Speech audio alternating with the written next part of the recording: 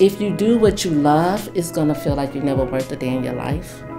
And I know that I can stand behind a chair doing hair um, as long as I want. I may get physically tired, but my joy is truly going to come from the people um, who gets up and walk out of my chair and I made them their best self.